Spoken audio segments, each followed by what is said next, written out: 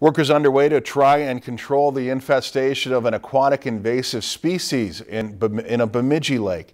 The Minnesota DNR and Beltrami County employees moved quickly since the starry stonewort was discovered in Big Turtle Lake and got started in their battle despite rainy conditions today. Our Josh Peterson has more. With the help of some heavy machinery and a lot of maneuvering in the tall weeds on Big Turtle Lake near Bemidji, the process of containing the invasive algae known as starry stonewort has begun. Starry stonewort looks like a fine weed and resembles a small snowflake covered with tiny bulbils. The algae is known to exclude aquatic vegetation and create a serious nuisance for boaters. We're reducing any um, spread of the invasive by boats cutting it up, mm -hmm. and we wanted to um, confine the boat traffic just right to the middle. These yellow buoys hold up a silk curtain that will surround the area where the tiny invasive algae is densely located.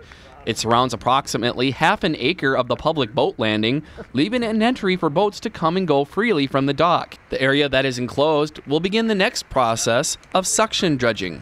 While dredging does have its advantages, it's not 100% foolproof, meaning it won't totally eradicate the starry stonewort from Big Turtle Lake.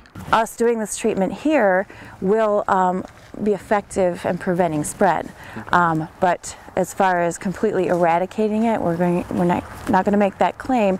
Once the dredging begins, a copper sulfate treatment of the sectioned area will take place. No long term damage will come from the algicide.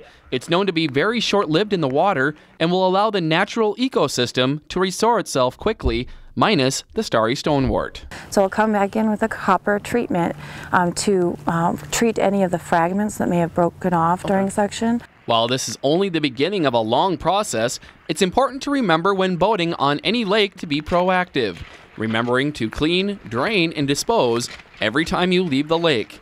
In Bemidji, I'm Josh Peterson, Lakeland News. The DNR hopes to have the process completed by Labor Day weekend. The project is expected to cost anywhere from 15 to $25,000. If you've enjoyed this segment of Lakeland News, please consider making a tax-deductible contribution to Lakeland Public Television.